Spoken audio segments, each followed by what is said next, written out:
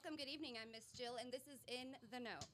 I ran across something today that said, rest and peace of mind. It doesn't really make a lot of sense. Um, we're going to go back to it later because it will. So, rest and peace of mind is going to have a lot with, uh, to do with what we're talking about tonight. Tonight, we're talking about pre planning. When we come to the end of our journey is the title for this evening. We have a guest with us. So, good evening. Hi. How are you doing? I'm well. How are you? I am good. What's going on, Laneisha? Come on, loosen up. Let's have a conversation. Let's let's get into this. Hey, Clarence. Thank you for having me, Miss Jill. Laneisha, Yes. could you um, introduce introduce yourself? Is it Bennett? Laneisha yes. Bennett? My name is Laneisha Bennett. Okay. I am a, a representative for Church Funeral Direct Network to help uh, assist you with pre-planning. Okay, gotcha. Got Pre it. planning. Now, now, um, it's a simple term, but give us some in depth. What people? What are we talking about when we talk about pre planning? What What are we going to get into? Okay, when we when you say pre-planning, what we do, uh, we help pre-plan your funeral service. There you service. Um, so many times we we don't we don't like to talk about the subject of death. Um, we like to avoid it, and then when it happens, which it will happen, unfortunately, it's something that all of us are going to experience. Right, right. When it happens, uh, we can be running with our heads cut off because we don't realize the expenses, Mm. um, and that money has to come from somewhere. Uh, we can't continue doing chicken dinners. We can't continue creating GoFundMe accounts Right, right. when there are resources out there for you to have a, a funeral service at a low cost, even if you don't have a life insurance plan. It, we, there is something out there for every individual, even your children, to for you to take advantage of. Mm. Gotcha. Um, you brought up something, uh, GoFundMe. So, has that become kind of like a replacement for, and not a replacement, but a like a last ditch resort? Do you think now that more people are utilizing other things because it's out there, or are we just hearing about it Wait, more? wait, before you answer that, Jill missed a whole cultural question. Man, you, you, you missed a whole cultural what? spot in there. The GoFundMe is prevalent, but let's get to the chicken dinners, the fish dinners, and all that. Yeah. Tell them, tell them about culturally how we have been trying to do this for a while. For for minorities, we do we create chicken dinners. We we create fish dinners. Um, I'm always gonna buy if my if my grandmother is selling a chicken dinner or a fish dinner. I'm, I'm definitely buying Right. one, despite the occasion. But we don't we shouldn't have to depend on that. Yeah. Yes. Um, we even depend on our churches to step in. Our Yeah. churches can't always step in and take True. that task, no matter if your if your grandmother was paying tithes for 30, 40, 50 years. Right. Um, that task can't always be one. completed I kind of through- disagree with you on that one, but go ahead. with the tithes. Yeah. Um, If my it's- grandmother, it's- look, put put like this. but you have hold on, hold on. You, you have okay. to you have to look at what are tithes for. That's you paying forth what you owe God, not what you owe the church. So it's, a, it's a whole nother Oh, that's a. The, it's a whole nother ball game. You, do, do you want to get into this one? No, no. Let him No. talk about the business. talk about Let him talk about the business. We're gonna, we gonna save that one because I, Yeah. I'm definitely gonna come. I'm gonna come at you with scripture. Okay, go, yeah, I'm gonna You gotta let me eat it up. prepare. Come on. we need another 30 minutes Yeah, for that. but one. yeah, that's Yeah. but we gotta stay Yeah. focused right here. yes, yes. Yeah. But in, in that conversation, and where you say the church, and a lot of people, you know, um, get into that. But the fish dinners, the chicken dinners, the GoFundMe, the car washes, and the things like that, you're saying that there's a reasonable plan that you don't have to have life insurance. There's a uh, an economical plan, I should say. there's an alternative option for you, uh, especially when you're you're dealing with Church Funeral Direct. We're going to offer you a cheaper a cheaper funeral service than what you would pay for if you were to go to one of the local funeral homes. Not knocking any of our, our local funeral mm-hmm. homes, but we're going to offer you a cheaper rate. And every service is going to be done at the church. We're going to when your deceased pass, we're going to go pick them up and take them to the funeral home. You'll be you'll be assigned a funeral di- funeral director who will directly come to you, mm. so you're not constantly have to get out mm. um, when you're grieving to to handle to handle those arrangements, along with when when we pre-plan, everything is already put on paper of what you right, want right, done. right. Um, so you it gives allows you some time. It gives you that time to grieve that you mm-hmm. need instead of just mm. Tell me about, tell us about Church Funeral Direct Network as far as the entity itself. Um, is that something? How, how are you associated? Are you the? Tell us. No, I'm I'm just I'm a I'm a I'm a representative Okay. for um, church funeral. I, I do quite a few things. Um, I I do the pre planning. I do removals along with uh, funeral hosting. Um, but at the one that's most important is uh, the pre planning portion of it. I hope I answered your question. Yes, you did. You okay. did. You know, um, we we we always wait till the last minute, and, and that, that's one of the scrambling things you do. Um, I, trust me, I've been through through a few funerals where you know you know it, you don't know, and not only the pre planning. There should be a plan for people to know. Do y'all set up plans for people to know, like the families, you know, what the um, decedent wanted or anything like that? Who do you? Yes. So when we do our one-on-one with you, um, we will we will find out who your next of kin is that you want responsible to take over. Um, that they the next of kin will know everything that's going on. So when we hand you your receipt and your packet, you share that with your next of kin so they know. Okay, this is mm-hmm. I. Mom has passed. I need to go to her house, and she has it in the in the closet to the left in a lockbox. All that right. information. So all that information is in there. So when they pa- when when your loved one passes, you're just making a phone call to us, and mm-hmm. we're on our way within an hour. Okay, mm, okay, yeah. I know my parents. Um, I don't know how long ago it was, but they are pushing seventy now, and it was years ago. And mm-hmm. they they had went and they did all of that, and kind of like what you just said. You know, they told us where it was, blah blah blah. This is what we want. And I said, "You guys, you know, you did that already." And she said, "If something happens to both of us, there is no way." And she looked at me. I'm the oldest. She said, "There is no way that you are going to be able to do this."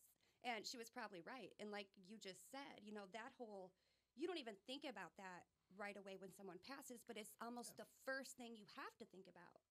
So I've done absolutely nothing as far as planning for me. Have, Uh, have we, you? We, we need have to you- schedule a one-on-one with you. Then have- is your stuff planned? Like, no, no, mine's not planned. I'm gonna live forever. I mean, I think, am I right No, in I'm saying just a lot of joking. people no, no, don't you're right. have it You're planned? right. No, I don't have my plan. I have insurance, but as for having everything planned, no, I don't have that. Mine's is done. Yours is done. Yes. How long yeah. has yours been done? For the last five years. That's good. Yeah, I'm gonna let my kid- daughter do my, mine. My kids know everything. What hey, show show the body, cremate the body. It's a wrap. is it on paper? Hmm? Is it on paper? Show the body, cremate the body. It's just that simple. I don't- You ain't got to do the opening and closing. You ain't got to do none of that. Show the body, cremate the body. Let's go. Okay. It's just that simple. I mean, it's not. I've been through the for the last what, two years. I've been on set and watch how my mom scrambled. Well, they didn't scramble, but they did when my grandmother passed. Right. And my grandmother wasn't from here. hmm So it was like, okay, we gotta hurry up and get her to find up, find somebody to do her body. We gotta find the, the funeral home that could fly her back to Alabama. You have to, you know, do all you know, all this preparation, do a quick funeral. I mean, is is It's a lot to It's it. a Is- is, scramble. is your was your mother a resident of Alabama? You said my Alabama. grandmother was. Your grandmother was. Well, my grandmother stayed in Fort Wayne for six months and Alabama for six months. but So she she passed when she was in. she Fort was Wayne. in Fort Wayne. And I'm, I'm glad you said that because another thing with Church Funeral Direct, we offer, um, I can't think of the name of it, but we, we offer a service to where you pay a, a flat rate amount.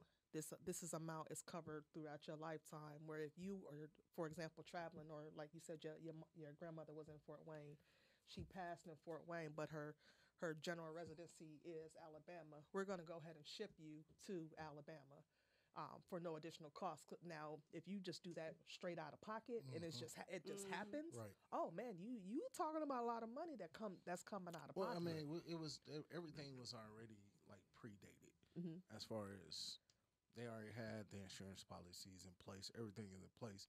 But the person that had all the policies stayed in Alabama. okay, So she had to quick fly to Fort Wayne and literally say, okay, this is what we need to do, how we need to do it. Which funeral home does flights? Yeah. There's only one in Fort Wayne that does flights.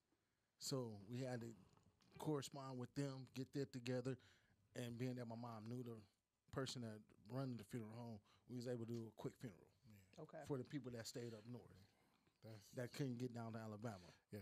So it's just like I, for the last, like I said, I had my stuff planned for the last five years. Hey, show the body, cremate the body. I, I, we we good because simple fact to go through a lot of oh well we don't know if he wanted this or nah I ain't got time for that. Yeah. Daughter, you take over. Son, you take over. Everybody else, they can. They ain't had nothing to say. Laneisha, can we talk a little bit about um, so if somebody were to ask us like, have you gotten XYZ test done for your health? We would say, if I hadn't, they would say why. Well, it's usually time or whatever. What do you think that the top answer or close to the top when you ask someone if they have their like we just did? You ask us, we say no. You say why not?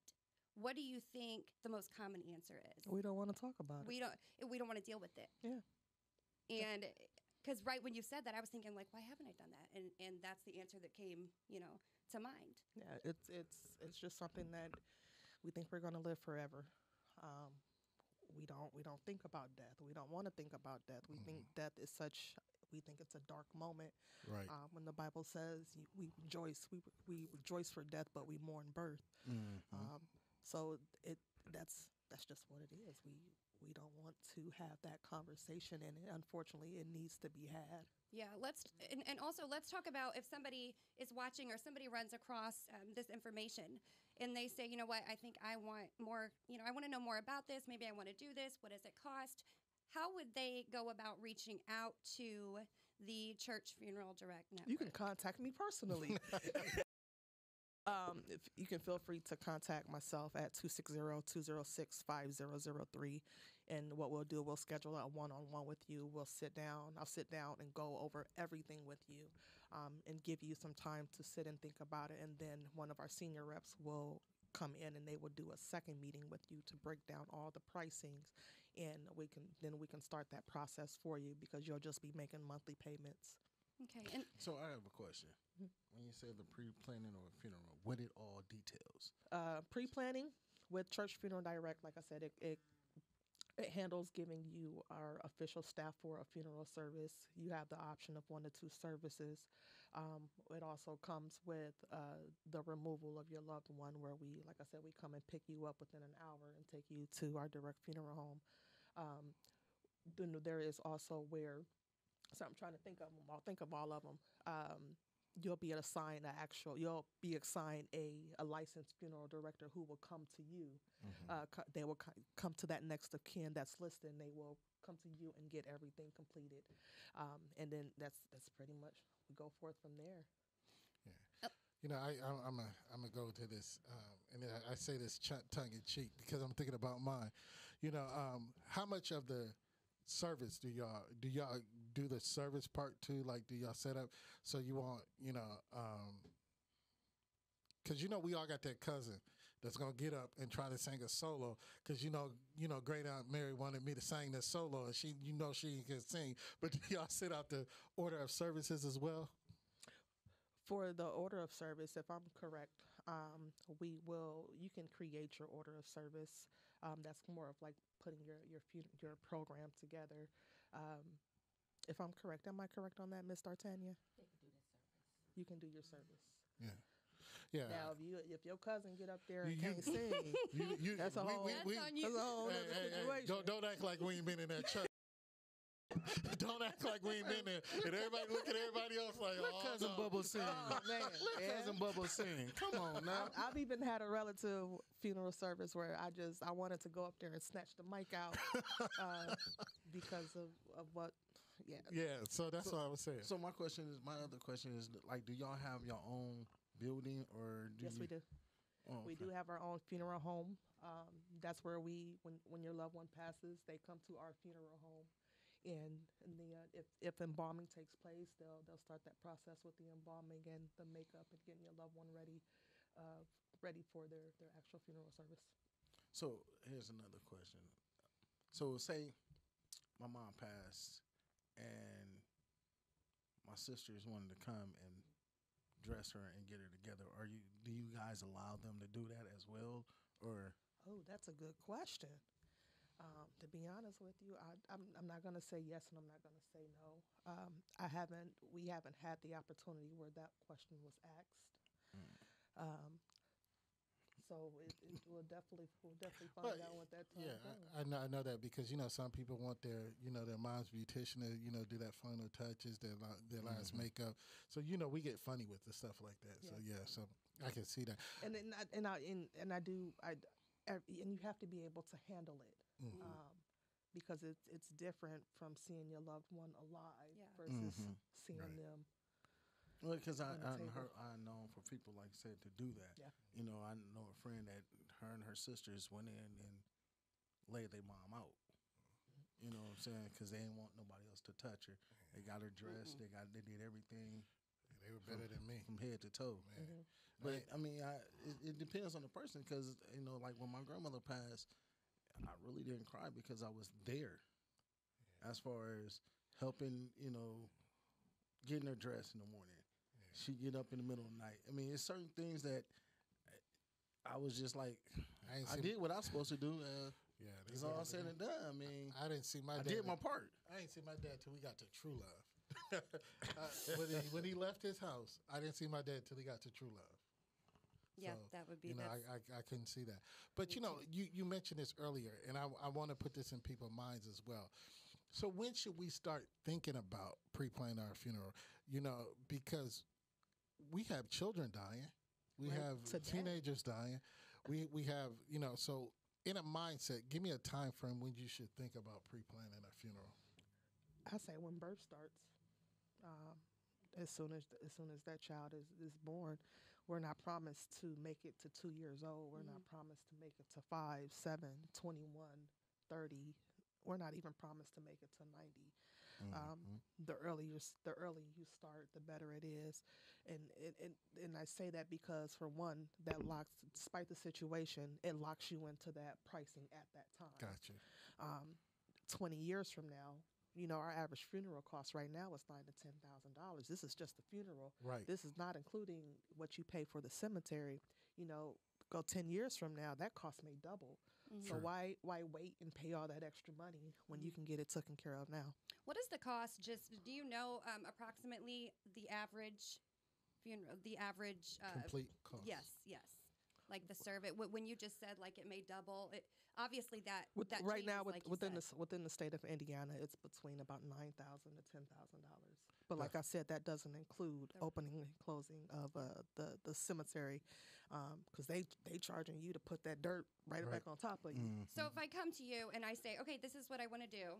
Here's how much money I have. I don't have. I, I, I don't have a lot of money.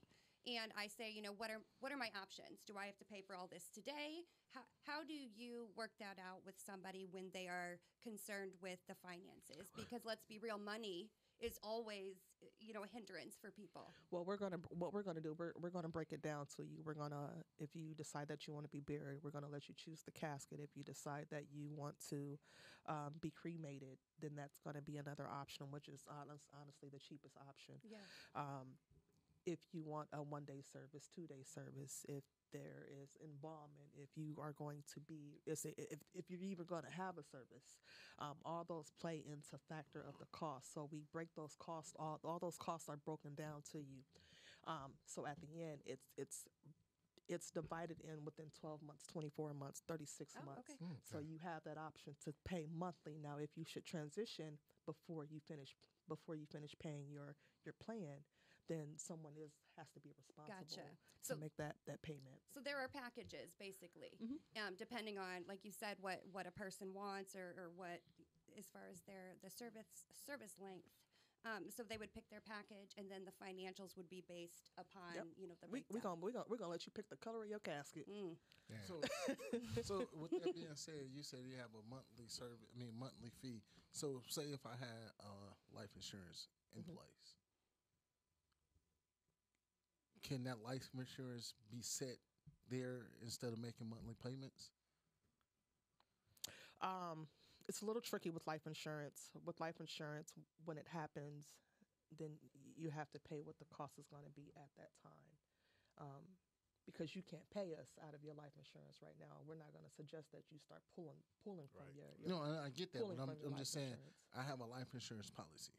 That's it's there. You can you can use it, but it won't say- it won't lock you it won't lock you into it won't lock you into the the place. this year's pricing. So is. it wouldn't. I mean, and that's what I'm asking because it's like it wouldn't. If I know I got a life insurance policy, I know I got a say I got a hundred thousand dollar life insurance policy, and I come to y'all, I'm like, okay, I want to pre-plan my funeral, but I already have this life insurance sitting here strictly for that. But I, but I, we can we can we can go over in all the information, have it documented. Um, so when that happens, then we have the information. But Right. you're you're still not locked. You're not locked into that pricing. You're still whatever the pricing is at that time that you transition. That's what's going to have to pay out from your life insurance. Now, I want you to think about something because life insurance, especially life insurance, is dedicated to cover the bills that you would cover while you're gone. So why not go ahead and make pay for a pre-planning now and let that life insurance take care of what it, it's meant to do. And plus, you, you don't see life insurance with about 14 days, 14 days plus 14 days 21? plus. By the time all it's the stuff should be done Yeah. with. And yeah, Yeah, yeah, I think and, it's and just think about it because there's there's so many there's so many factors to death. right. Um, if you do you own your home?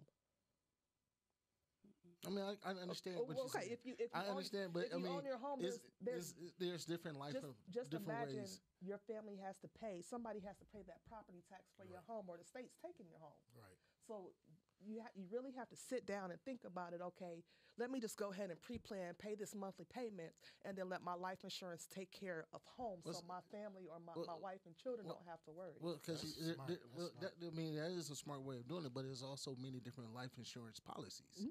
So, I mean, I can have a life insurance policy strictly dedicated for my funeral. Even if I die and I have But why- monthly payments. but why would you do that when it's Why- that, why not? that's that's not the purpose of life insurance though Yes, it is. That's part of it. That's part of it. Because no, that, that's what that's what we make it. We make- see, we I mean, I- I mean, I know- I know, That's not what it's meant. Well, I mean, I know a lot of people, and I know people that's that that sells life insurance, and they break the, the different life insurances down, and how you could uh, disperse your life insurance. Because I'm already why I'm just asking you, why would I pay double when I know whatever my life insurance policy I have can cover everything? if if thirty years from now you pass and you just have that hundred thousand dollar policy and funerals cost a hundred thousand dollars, And I get what you're saying, but if I, like I said, I, I mean, because I know uh, my guy that I use get one of my life insurance policy from, he got it broken down with a point that anything I occur, my funeral, house, this, that, and other, it's broken down like that. okay, Yeah. then if, if you if you if you choose to do that, um, I just I just sit and think of, think about it thoroughly um, before you make that full decision. But if if that's your choice, I'm not going to be one to stop you. Right. Right. Um, but I just I, I want you to look at the bigger picture and all the other what ifs um, about death that we we don't know about, we lack knowledge of. Right. That brings me. That's what I was going to ask. Is I'm not super educated on this process. Is that is that common? I mean, do you think that when people come to you, they also have questions about the process itself? So I don't have to come to you and already know everything about all of this because you are going to educate me on what needs to be done, just like you're doing right now. Correct? Do you, I'm, I'm not super educated. Um, I'm gonna let you know what I know. Mhm. If there's something that I don't know, I'm gonna send, I'm gonna contact the next person to lead you lead you the Gotcha. best way. Gotcha. So you would be sitting wi- if I if somebody comes in, you would actually sit down with them though um, and go over like you said all the packages Yes. and stuff. So it's one on one. Yes. Yeah, and in a, in a quick question again, um, and it goes into the finances, and you know, Eric has a valid point, but we we also have these questions, we have these problems. Now you are all in house. We don't have to do third party or anything. So There is some third party is what we call cash advancements. Um, cash advancements is your your flowers, your funeral programs, um, those items, those thir- third party companies that we can't we don't have Okay. any control of their their pricing to lock to lock you into their their rates. okay, but it's still covered in in what I pay, or is that an additional? You can if if you say, "Hey, I want a casket spread and I want to put two hundred dollars aside for that casket spread," we're going to work that into your Okay. monthly pricing. Okay, So when that time comes, two hundred. And now, if flowers go up from then, um, only two hundred dollars of that is going to be allocated to correct. flowers. Okay, yeah, yeah. That's that's good. We are all, you know, we all, like you say, death is not. It doesn't have an age. It doesn't have a time. It doesn't have anything. It doesn't even have a race. So, how do you how do you go about reaching out to the community? Are you uh, like out in the churches? Are you out in uh, out in um, like in the churches when you have a captive audience? Do you do things in the churches? How do you get your message out? Um, for me, for me personally, I don't. I'm not sure how every other representative do it. Um, it's talking with my family, and it, they talk to their friends, and they talk to their friends. Um, I've even held a session at the library to where you can come in, and we can have. We'll have one big group discussion going over church funeral direct. That's good. That's good.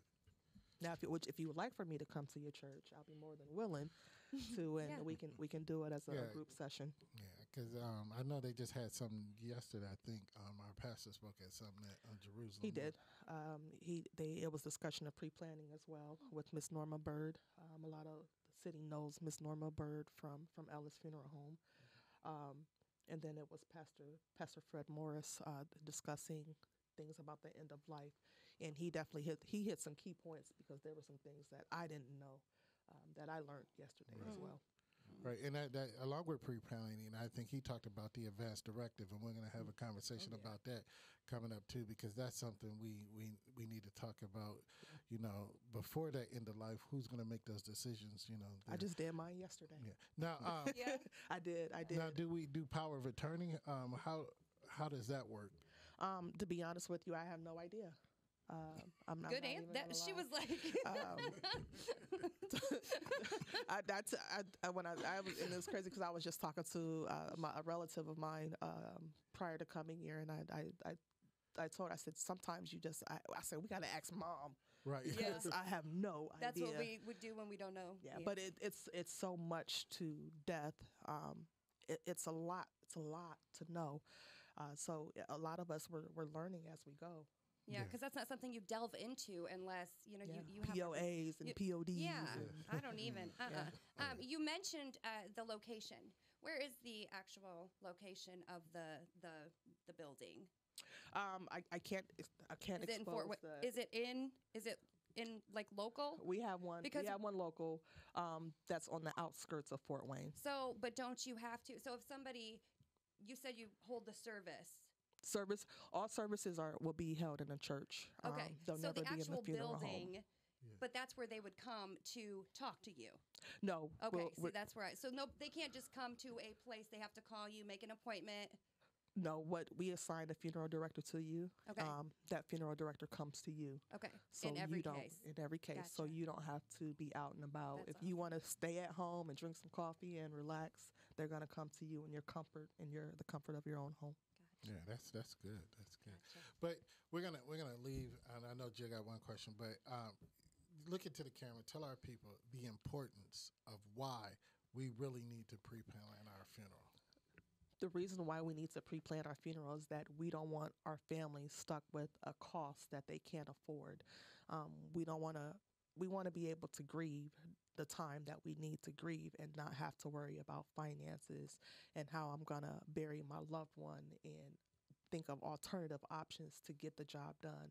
So it's it's highly important that you pre- you pre-plan your service for yourself, for your children, and so ev- so your love your family knows what to do when that time comes. Right. And once again, where can they locate you or get in touch with you? Ah, feel feel free to contact me at 260-206-5003 and my name is Laneisha Bennett.